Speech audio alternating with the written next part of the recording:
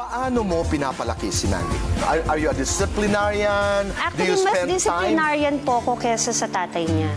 Pag lumalaki na yung mata ko, Alam na niya. Alam na niya. So, tumatahimik na po siya. Paano binago ang yung buhay ni Mandy? Hindi ko na nga minsan naiisip yung sabihin na natin love life kasi puro sa business at saka anak ko ang inaatupag ko kasi gusto ko magkaroon ng talagang established business para may ipamamana ako sa anak ko. It, it gets to a point, di ba, na it's not about me anymore.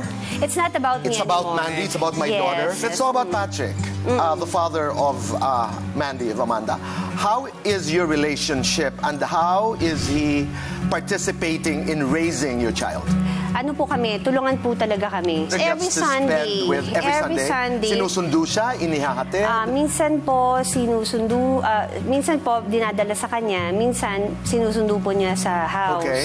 Um, tapos po, um, pag may birthday parties ng mga anak ng kaibigan namin, ah, we see to it na kaming dalawa ang sumasama sa anak namin. Pero walang, nag, walang nagsiselo sa'yo, walang nagsiselo sa kanya. Uh, he doesn't have... Ewan uh, he ko sa doesn't- kanya kung may nagsiselos sa kanya. Hindi nyo... uh, Parang may narinig ako, meron daw nagsiselos. No, but um, to your knowledge, uh, he's not going out with someone and you are I single. think he's dating. Ah, he but, is, he's ah, dating. he's dating, but I don't know who. Do hindi, you, do you care? I don't. I don't. Yeah, you're both single. I mean, I me, mean, me naman, I don't have time to date because of my business and Mandy. Financial support, walang problema. Ah, wala na. Ito yung eksakto, eksakto naman. Oo. Pati yung family ni Patrick, very ano po kay Amanda.